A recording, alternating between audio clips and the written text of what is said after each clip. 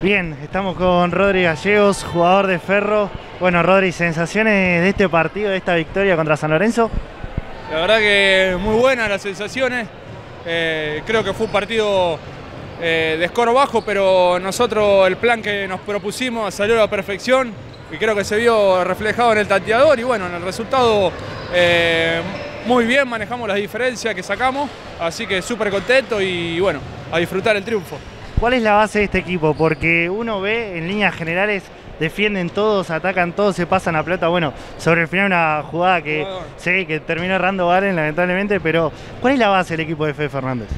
Yo creo que la solidaridad que tenemos entre nosotros, no hay egoísmo, creo que se ve dentro de la cancha.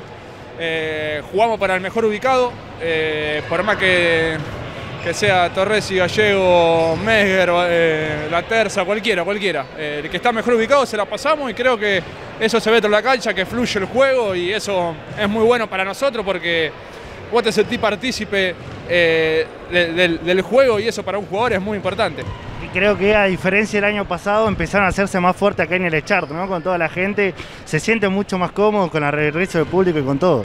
Sí, sí, tal cual. Nosotros acá, eh, la verdad que nos sentimos muy cómodos, fluimos muy bien.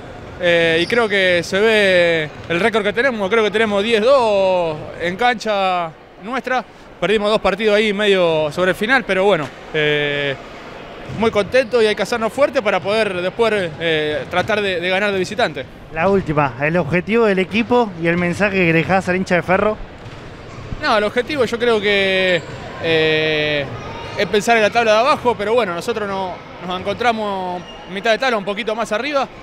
No nos conformamos, vamos por más eh, y el objetivo sería entrar a playoff, que eso para el grupo sería de maravillas. Y bueno, a la gente de Ferro que nosotros vamos a jugar eh, de la misma manera en todas las canchas, vamos a entregar lo máximo que tiene de uno, eh, de tratar de, pasar la pelota al mejor ubicado y bueno, eh, la verdad que, gracias por el apoyo, que la verdad que se siente dentro de la cancha y nos sentimos muy cómodos acá. Gracias Rodri. Nada, nada.